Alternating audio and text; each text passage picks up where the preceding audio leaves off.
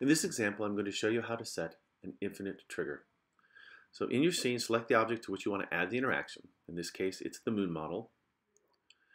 Then enter the interaction editor. The select object trigger is set by default. You'll modify the moon model's size, and then after we're done doing this, we're going to uh, select the trigger settings to modify those. By default, the trigger settings are set to infinite, although you could toggle it and set a finite number of times that the, that the interaction can be triggered. Now, we'll enter play mode, and when the moon appears, you can tap it, and it will scale up by the same amount each time.